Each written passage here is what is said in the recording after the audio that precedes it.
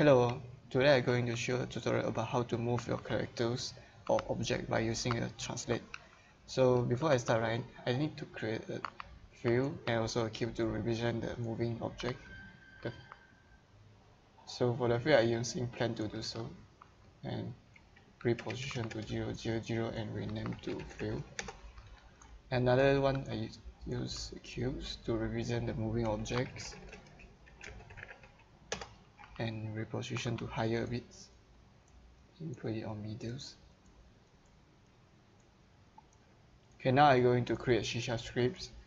Mm, I'm going to call moving behaviors.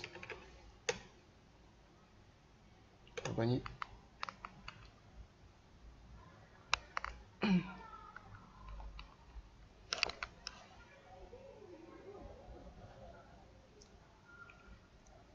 So in this tutorial I'm going to show how to move by using WASD only. So by first I think I need to create a public variables, float variables called move speed. I set to 5 as default and you can change it on inspector letters. And to detect is a player press the WASD key we use the input dot get key, get key to do so. So that is like this. Uh, if input dot get key key puts w I think the rest you can just copy and paste for it.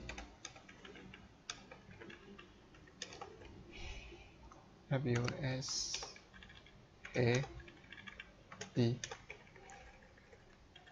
Because the w and s is moving at front and backwards so the parameter should put on the z-axis itself so to do so I need to like, do a use a transform dot translate passing 0 0.0, 0 0.0 and move speed times time slot delta time.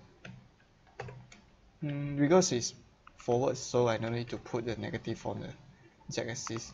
But for the s right I need to put the negative. negative and for the a and d because it's moving left and right so the parameter should be on the x-axis instead of z-axis. But I can just go just shortcut copy and paste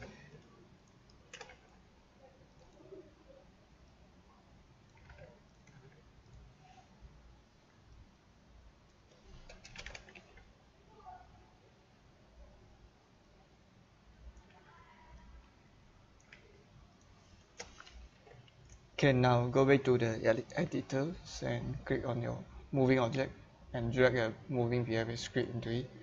Mm, the speed I think no need to change right okay just oh, oh okay forget to change this one. Hmm never mind. Same. Just hit the play button. I press the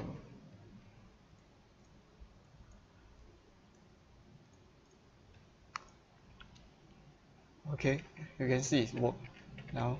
So that's all for tutorial.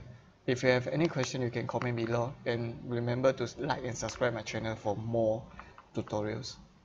Thanks